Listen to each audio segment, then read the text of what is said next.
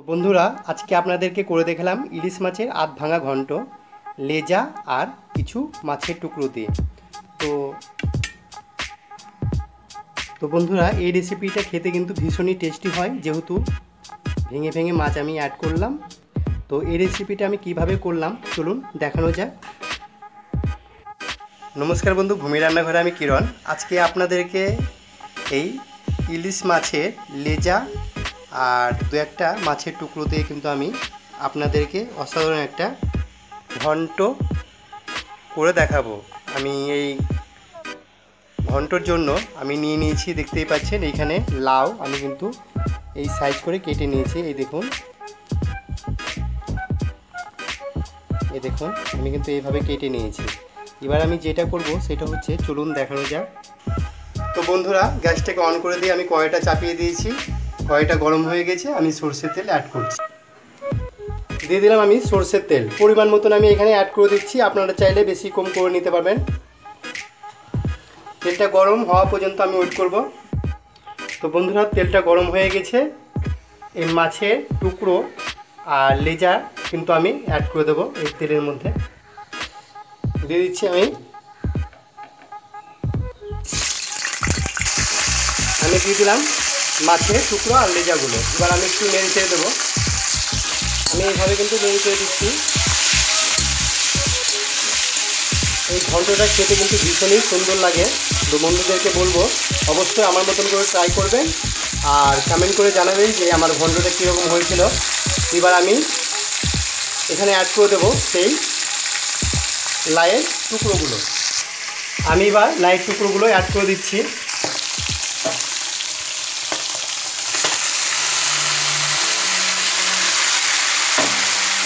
এবার একটু নেড়ে চেড়ে দেবো, ভালো করে। এবার এর মধ্যে অ্যাড করে দেবো আমি লবণ, হাত মতো লবণ দিয়ে দিচ্ছি। আর দিয়ে দিচ্ছি পরিমাণ মতন হলুদ গুঁড়ো। এইভাবে কিন্তু আবারও আমি নেড়ে চেড়ে দেবো।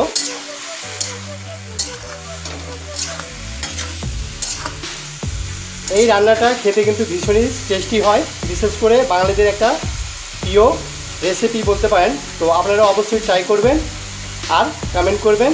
আর লাইক করে তো আমাকে উৎসাহ করবেন ভিডিও করার। এবার আমি নেড়ে চেড়ে দিচ্ছি ভালো করে আবারও।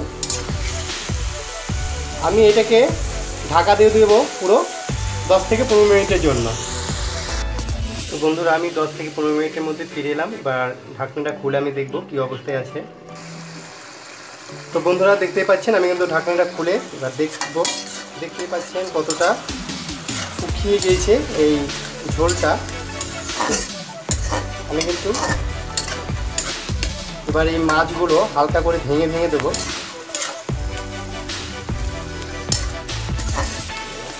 এইভাবে।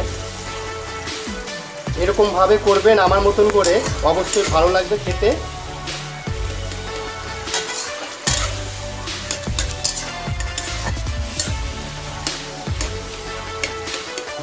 এক পিস মানে গোটাও থেকে যায়। কিছু করার নেই, আরও খেতে দারুণ লাগে। তো যাই হোক, আপনারা যদি চায় চান ভেঙে দিতে, তাহলে ভেঙেও দিতে পারেন। আবার যদি গোটাও থাকতে চান, তো রাখতে পারেন। তো আমি কিন্তু এইভাবে একটু আধ করে নিচ্ছি।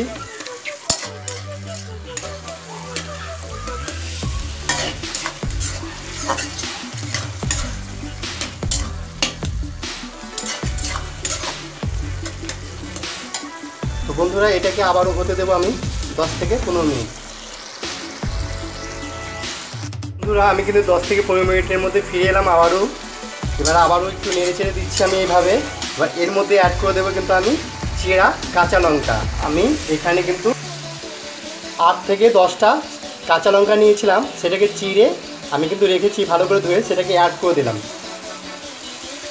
এবার আবারও ভালো করে নেড়ে চেড়ে দেবো। আপনারা এখানে ঝাল বাড়িয়ে কমিয়ে নিতে পারেন। যেহেতু আমি এখানে একটু ঝালটা বেশি দিলাম, ঘন্ট আর মাছের এই জন্য কিন্তু একটু ঝালটা আমি বেশি খাই, এই জন্য এখানে কিন্তু আমি বেশি দিলাম।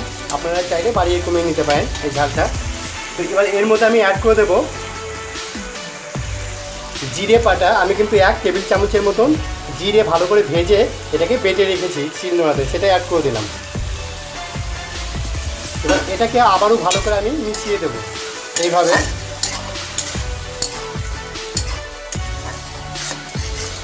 তো ফ্রেন্ড আমার মতন করে ট্রাই করবেন আপনারা। অবশ্যই ভালো লাগবে খেতে, যেহেতু ইলিশ মাছ প্রচণ্ড সুন্দর লাগে এই রেসিপিটা আপনারা অবশ্যই ট্রাই করবেন ট্রাই করে আমাকে অবশ্যই কমেন্ট করবেন। কমেন্ট না করলে কিন্তু আমি কিছুই বুঝতে পারব না যে আমার রান্নাটা কীরকম লেগেছিল বন্ধুদের।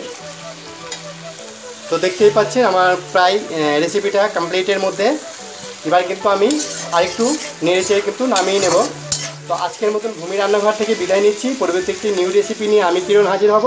ততক্ষণ আপনারা ভালো থাকবেন, সুস্থ থাকবেন, আর আমার ভিডিওগুলো মনোযোগ সহকারে দেখবেন। আর প্লিজ বন্ধুরা, অবশ্যই লাইক করবেন। লাইক করলে কি হয়? আমার ভিডিও করার উৎসাহটা বেড়ে যায়। দেখতেই পাচ্ছেন, আজকে আপনাদেরকে ভালো একটা রেসিপি উপহার দিলাম। তো অবশ্যই কিরণদাকে মনে রাখবেন, আর এই রেসিপিটা অবশ্যই ফলো করে কমেন্ট করবেন যে কীরকম হয়েছিল। আজকের মতন বাই বাই